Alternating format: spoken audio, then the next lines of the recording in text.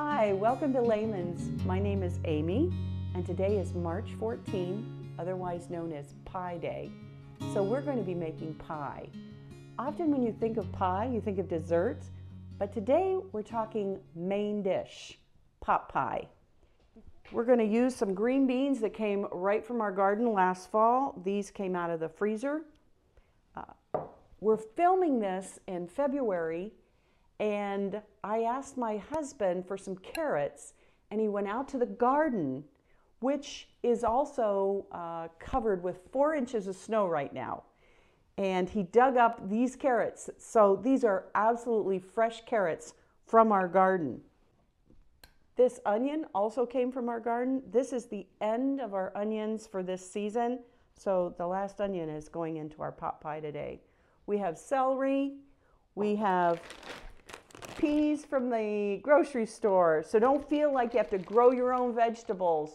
And also get super creative. Last week I made a pot pie I used kale, I used spinach, I used mushrooms, but I know what my family likes. Then the other thing I have, usually when we talk about pot pie, we talk about chicken pot pie. This is actually turkey, but no one is going to know. Our Thanksgiving turkey was way too big. We deboned it, we chopped it up, and this came out of the freezer as well. So these are nice chunks of turkey that is going to make our pot pie delicious. Now let's head over to the stove and we're going to start cooking. We're going to saute our onions and celery. I like to start with the hardest vegetables first. Add our carrots next. Give them a bit of a stir fry just till they're soft. Then our flour and our green beans and mix that thoroughly.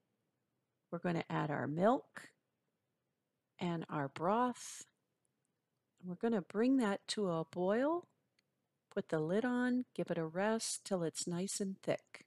Turn the stove off, add our cold turkey and our frozen peas. Stir that and just let it cool down.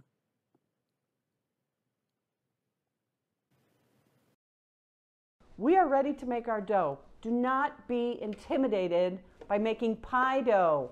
For some reason, that's the part that intimidates lots of people. On the other hand, if you make your own filling, maybe this is a good time to buy a ready made crust and go with that the first time.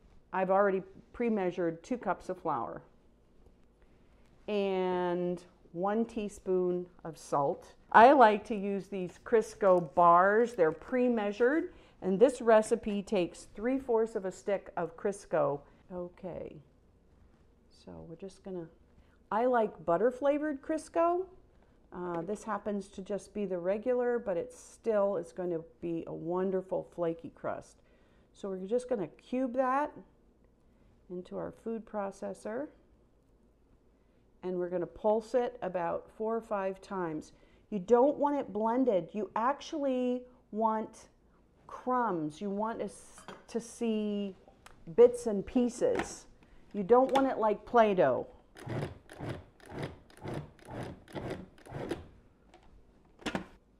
Depending on where you store your flour is how much water you need.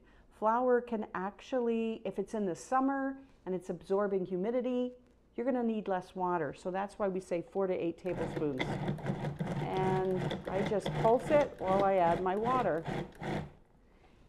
And the best way to know if your dough is ready is the pinch test.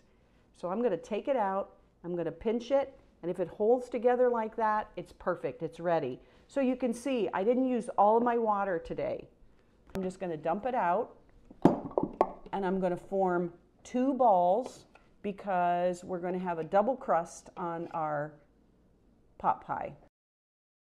At this point, I'm going to make two balls, then flatten them, sort of like a pancake, wrap them in plastic wrap and refrigerate for about 30 minutes till it's cold.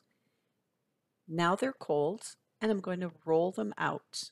This is the first one. It will be my bottom crust. I'm using a cast iron skillet today. By Lodge, I like the way it heats evenly. I like to start in the middle of my dough and roll out, using plenty of flour to make sure it doesn't stick. I keep rolling out, rolling out, and turning it every now and then, adding flour just to make sure it won't stick. I can even measure how big I need to make it with my pan. I usually fold it in half and then unfold it once I get it in the pan, pressing down in all the corners of the pan. And then I'm going to trim off the excess dough that's hanging over. Pressing down. This is our filling, which has sufficiently cooled. I'm going to pack it in there. I want a lot of filling. And now my top crust, the same thing, using lots of flour, starting in the middle, rolling out, turning every now and then to make sure it's not going to stick. And my dough scraper is wonderful for helping make sure it doesn't stick either.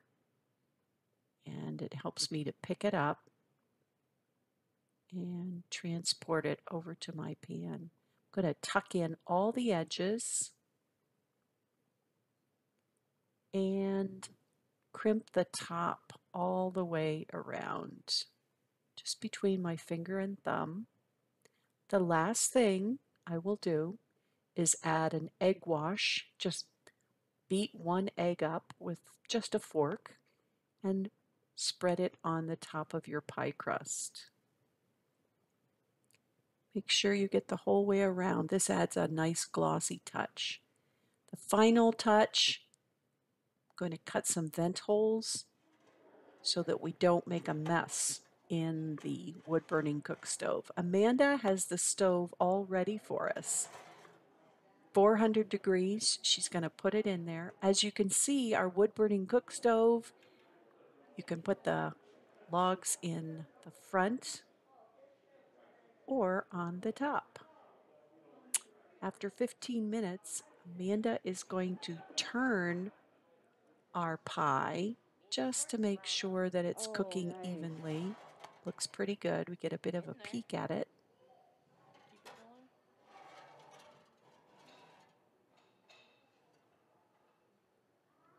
And she's going to show us how she can add logs to the top of our cook stove.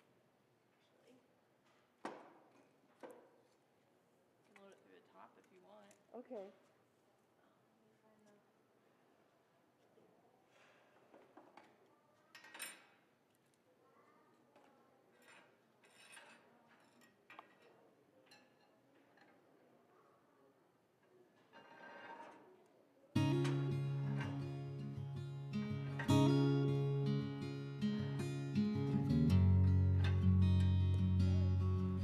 Our pot pie is done and we're going to serve it to our customers that are at the store today.